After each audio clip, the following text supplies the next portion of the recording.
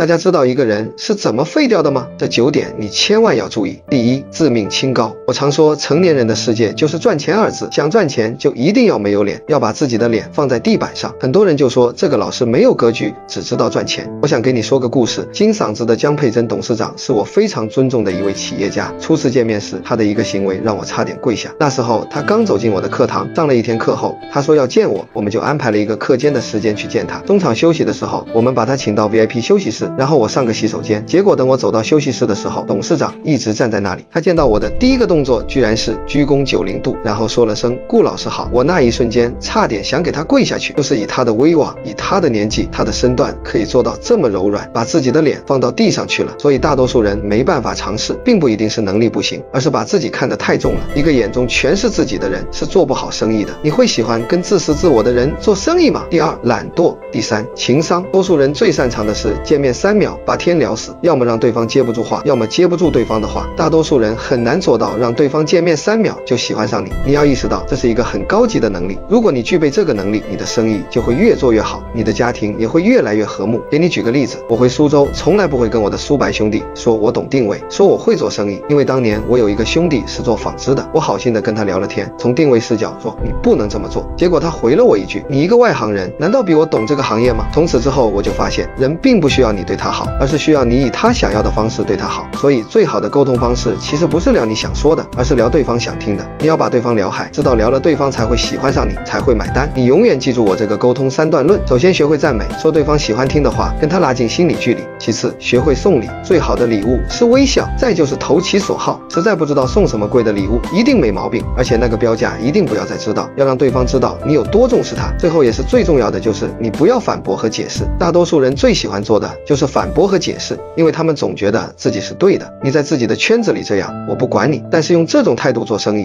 你终将一事无成。因为你的心里一定要有一个理念，就是你的目的是把自己的产品跟服务卖给所有人，卖到世界各地。这么多人一定有你不喜欢的，但他一定要喜欢你，他才会买单。所以千错万错都是我的错，永远别跟消费者站在对立面。第四，沉迷娱乐。第五，自控力差。第六。不懂人情世故，要读懂人情世故。我特别推荐读《红楼梦》，春恨秋悲皆自人，花容月貌为谁言？机关算尽太聪明，反算了卿卿性命。大观园里太多精，句句都是人生呐。第七，怕吃亏是福，是既得利益者说给失败者听的。你不要把吃亏当本事，但同样也不要怕吃亏。适当吃亏是结交人。脉最好的方法。你要明白，无论是富人。还是贵人，他们永远比你聪明。你吃亏，他们是看在眼里的。遇到想帮衬你的人，你的每一次吃亏都是在。为逆袭蓄力。第八，不懂得依靠他人。很多人。天天埋头苦干，说我要靠自己，自己要是靠谱，你早发达了。我常说，成功是有捷径的，不是靠自己，而是靠别人。要找到自己生命中的贵人，学会借力。我们的视野太小了，有太多赚钱的方法，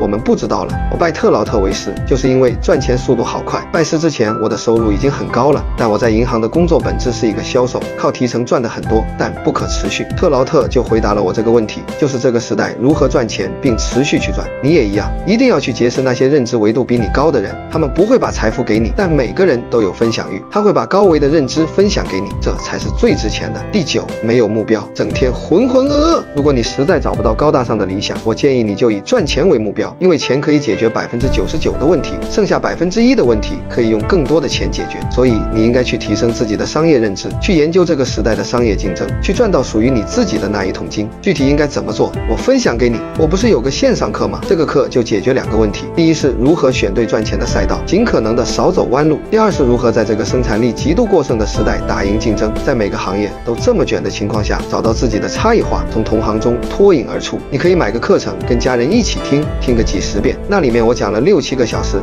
讲了八大运营体系和二幺八个动作，还有一本定位实体书，读百遍其义自现。目的只有一个，就是把生活和生意经营好，让日子越过越红火。三百九十八元，有毅力的人买它是不。会错的，让我们一起提升认知，逆袭人生。